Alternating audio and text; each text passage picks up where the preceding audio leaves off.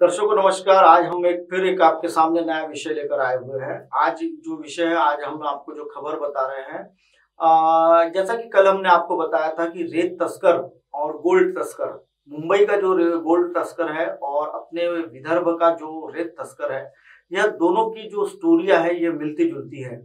अब इन लोगों ने गुंडे मवालियों को भी पालना शुरू कर दिया है। ऐसा कल हमने आपको खबर में बताया था। आखिर गैंगवार हो भी वैसे ही रहे हैं।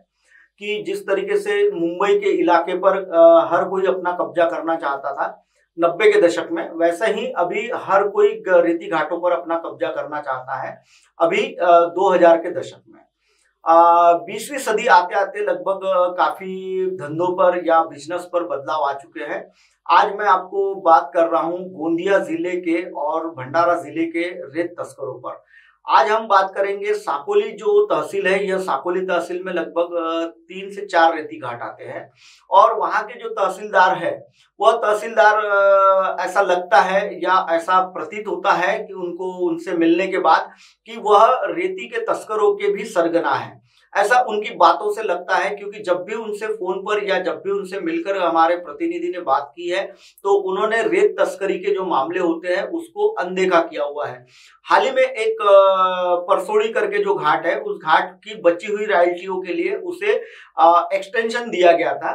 लेकिन वहाँ जब हमारे प्रतिनिधि पहुँचे और प्रतिनिधि पहुँचने के बाद उन्होंने देखा कि रेत जो है, वो नदी के पात्र से ही निकाली जा रही थी, जो कि स्टॉक की थी, रेत उस पर से वो लोग ले जा नहीं रहे थे इसकी जो जिला खनिकर्म अधिकारी है गजबीय उनको भी इसका एक लिखित शिकायत दी गई थी जिलाधिकारी के माध्यम से। लेकिन अब तक उस पर कोई कार्रवाई नहीं हो पाई है।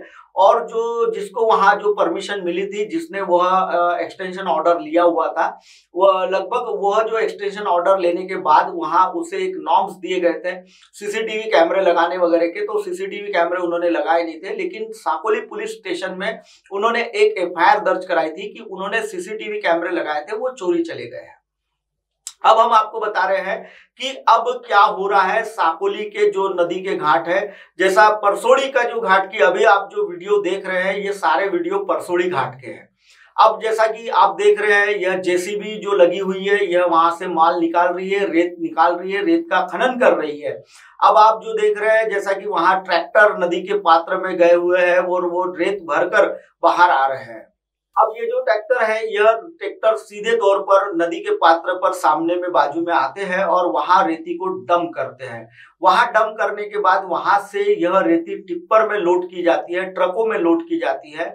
और हाल ही में वहाँ जो सौंदड़ और साकोली में जो ब्रिज बनाने का काम चल रहा है नेशनल हाईवे अथॉरिटी की तरफ़ से, भारत सरकार का एक, दो, लगभग तीन ब्रिजों का काम चल रहा है। एक चल रहा है सौंदड़ में और एक चल रहा है साकोली में और एक चल रहा है लाखनी तहसील में।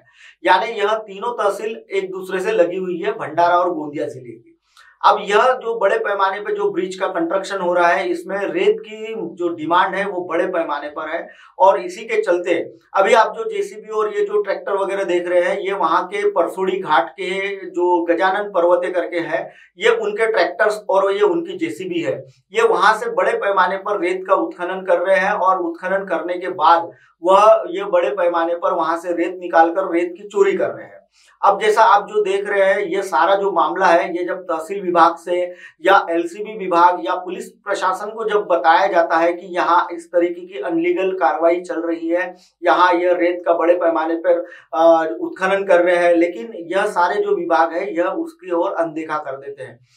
लगभग तहसील विभाग के जो पटवारी है या मंडल अधिकारी है, साकोली के, यह लोग सब इन रेत तस्करों के साथ मिले होते हैं।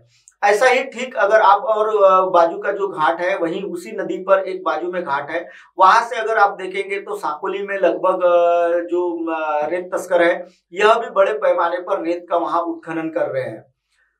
दर्शकों, फ़िलहाल वक्त हो चला एक ब्रेक का, ब्रेक से लौटने के बाद देखिएगा देश और दुनिया की तमाम खबरें, बने रही है मेरे साथ एमएनएस न्यूज़ पर।